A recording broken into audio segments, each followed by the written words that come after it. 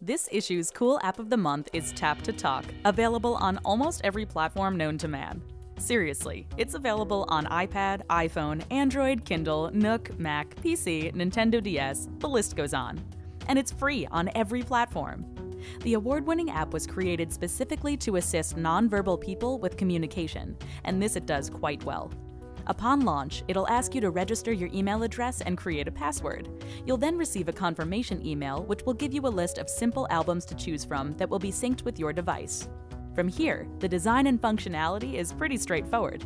Buttons and fonts are large and easily legible, and pictures accompany the phrases so there's no confusion for anyone who may be illiterate. Let's tap Hungry. From here, a small variety of subcategories are presented. Tapping fruit, for example, will then list different types of fruits to be chosen. We found some of the responses to be a tad limited, but with TapToTalk Designer, you can tailor your albums to include custom responses and pictures and push these to all of your devices. Unfortunately, the designer site isn't free and costs $149.95, but it's nice to have that option available. Knowing this, the biggest downfall of the standalone app is the lack of customization tools built in. Overall, though, it's simple and straightforward with no design blunders inhibiting usage.